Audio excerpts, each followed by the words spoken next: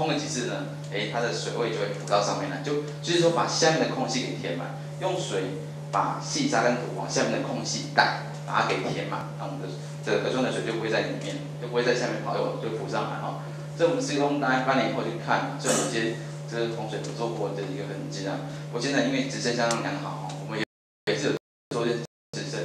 做火炭农场，他自己给给垮哈，看不出来这边有冰疤了吗？跟之前在看这同一座哈，这后来我们用直升，它长了有黑，相当自然，看不出来是不是一个是一个一个一个细致的地方，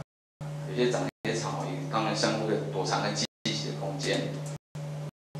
好，那这样是这个干气石的固传工嘛，好。那干气石的固传工，它它这个诶建设的东西比较比较多一点点啊。我们是不是在看下一个？知道两点还是到一点五十？两点是？一点五十啊？一点五十。好吧，我们再讲两张，我们就就稍微休息一下，下下次课时。这个发现我刚开始比较晚一点点到哦。这主要的观念，用干气石的固船工来讲的话，要拱状的堆积哦，要拱状的堆积。这是上一个段，是下段，你要拱状。那为什么要拱状？拱跟拱巴一样嘛，它如果上面力量力量从上面而来啊，它往两边来传递。只要我的两岸够结实的话，它就会越撑越紧才对，好是这样。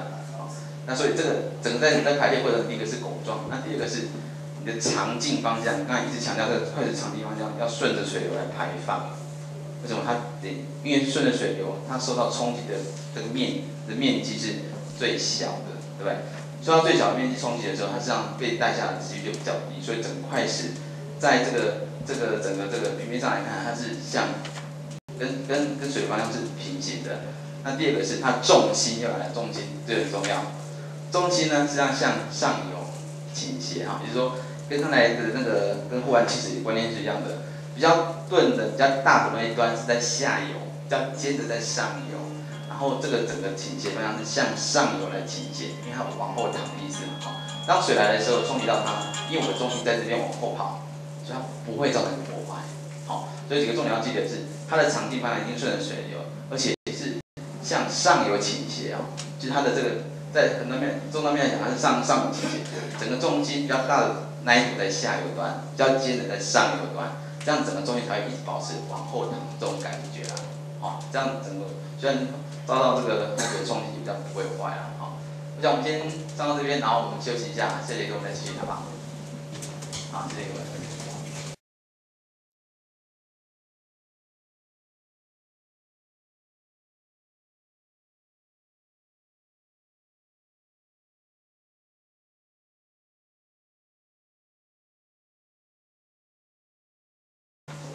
刚讲到这固船工哈，那固船工要记得这个重心的流重心哈，它的它的直径、长径方向一定要要控制的很好。好，那这是我们在九十二年做的一个第一次做了，第一次做的时候比较紧张一点哈。那是在在三峡上面就是这个台七线，我们用这种气势方法跟上面的挡墙看起来就显得比较自然一点点的哦。那在这该提到我们固船工下游有一个跌落哈，会形成一个深坎。这种完工后大概两年去开的啦，所以这里会比较深潭。深潭这边雨下的种类跟雨群的数量都比较多一点点。在大水来的时候哈，这个水哈，哎，刚才没有刚才提到哈，这中间这个石头比较大一点哈，会突出水面哈。主要是因为水来的时候，我们可以利用它石头把水分成两股，它分成两两边啊哈。到下游一段，它再叠在一起，就是用它自己去消磨自己。我把水流分开，那到。在一起，又要让它合在一起，让它自己对自己消，才会对我们这个呃河川造成比较大的套爽啊。那这这就是我们在水大的时候看到的哈。水来的时候呢，它就往往两边，比这个石头往两边来走，在下游再把它叠在一起，它是水不够大，大。情况用利用它自己啊来对自己做效能的作用，才会对我们的这个河川做比较好像比较严重哈。这在呃挑战这个地方我们设了护船工哦，是上个月去拍的哈，虽然说这个形状不太一样，对吧？原来的拱状比较比较比较这个拱哦，后来我们在过三年以后，哎，实际上有点跑掉了，不过没关系，我们讲这是自然的力量的调整，反而更加稳固了哈，所以我们觉得这样反而更好，应该会更加稳固才对。这是在另外呃，这在一样这个这个案例哦，是另外一个固床工，这我们刚开始的时候，然后在上个月去拍，上个月拍的也也还不错哈。好，这施工的时候要注意很多地方啊，那。因为固船工在河里面很像构造物，它的安全性、它安定性就就需要更更注意了哈。第一个是基础开挖哈，我们开挖的时候一定要注意它的这个整个掏刷深度，说我们开挖的大多超过一米半啊。好，第二个是主石的跟这个长进方向，刚才讲到这长进方向一定要是顺水流，而且重心呢大的头在下游端，然后这个石头是向上游来倾斜，好。所以在排放的时候，你会依序的排过去，而且因为刚才讲到，希望能够有个锯齿状的排列。那在河川里面，锯齿状排比较难呐，因为我刚才讲这个石头的重心的问题跟这个直长径的问题，所以我们都会把这个这这个地方呢，用大小大小的块石来排放，一个大小一个大小这样的排放，就变成锯齿状的排列了，哦。那所以慢慢的一颗一颗把它排进来。那因为这个石缝当中有很多缝隙，刚才提到，如果没有把它塞满，水很容易从缝隙中逃掉。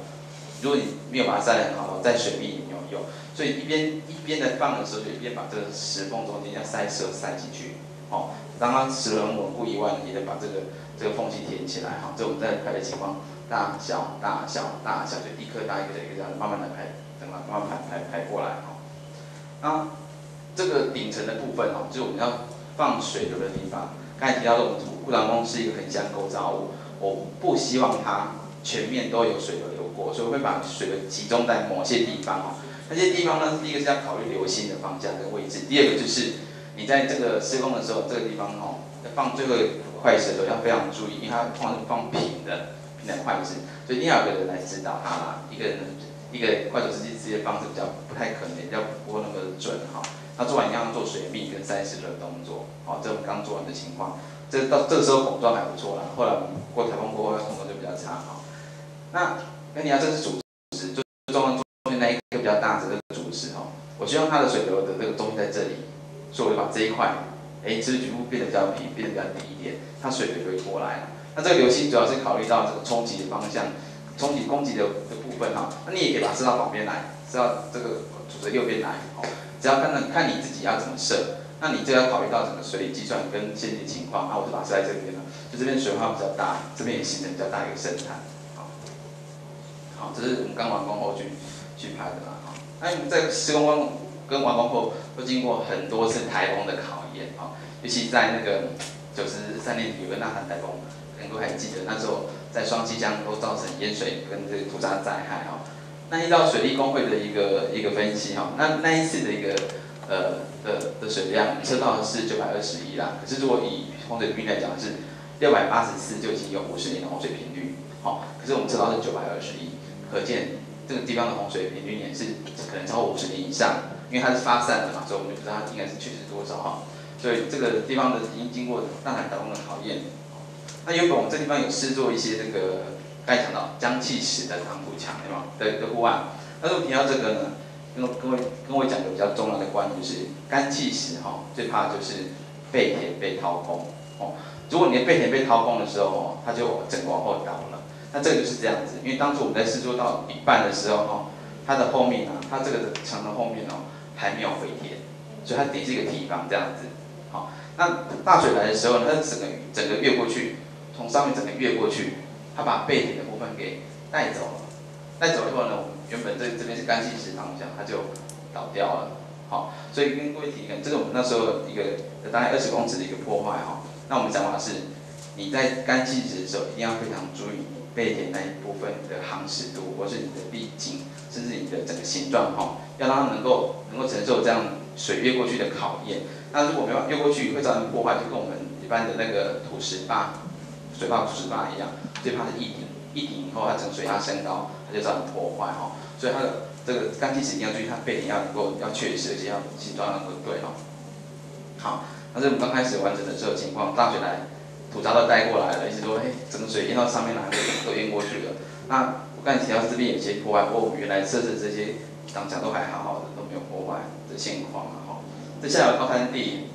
的情况，那原来说这比较没有利用，我们施工当中，哦，那这台风来的，台风来的前几天我们开始做整理，我们把块石移走，把机具移走，哦，那这个台风过后，那从这个这个台风过后的痕迹看到，哦，这风水它这么高了，哦，大家有英国这个原来草都这么高了，哈，那我们原来设这些设施事实上都没有遭到破坏，哎，原来的故场工在这里。它只是水太大把淹过去而已，实际上它都还在。好，那我们曾经就是做这个水理分析，用黑人做水理分析，实际上它的高度哦，跟我们算出来其实相当差不多的啦。好，后来我们就很快把它整理起来。那这里过稍微整理一下，实际上就看着比较自然清爽一点。哦，这是当录像，也是淹过了，那也没有遭到破坏。那这是固船工的情况哈，因为这边有两个钉坝，两个钉坝，那台风来以后呢？它就淹淹掉了，看不到了，不是不见，是看不到而已，实际上还在。那我们现在再一看呢，就是还是可以看到这两个堤坝哈。这下有不闯工，水大的时候，整个实际上应该都一通淹过去。我们去的时候，实际上水已经退退掉了。哦，那现况来看都还好好的。这原来的这户外的施作的时候情况。我就是说，我们这种工法实际上也经过很多台风的考验的哈。那最后我们在这个地方增设一个，它叫转弯道，这是一个堤坝，是因为说我们发现，在使用当中哦。很多水洪水来嘛，这地方冲击力最大，那最大我们需要来改善它，所以我们多设一个堤坝。好，那我们后来再一看，这个地方现在也都还很好，都还不错，都保持良好良好的一个它的功能。好，那遇到什么困难呢？第一个是工期，因为你在夏天施工，最怕最怕遇到是台风豪雨，一碰到台风你就得要落后工期，所以在整工期的进度方面呢，就碰到。